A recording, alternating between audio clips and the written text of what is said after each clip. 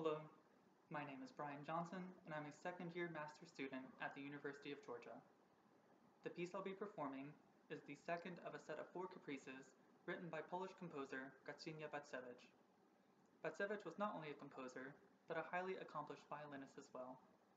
In fact, she was the first woman to serve as concertmaster for the Polish Radio Orchestra.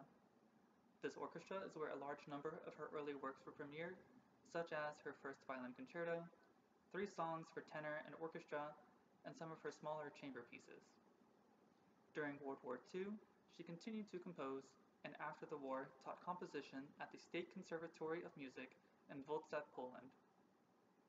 The piece I'm playing was written post-World War II in 1968, only a year before her death. Originally written for violin and then later transposed for viola, these pieces serve as a prime example of her late compositional style. Bacewicz uses a wide variety of extended techniques for the instrument.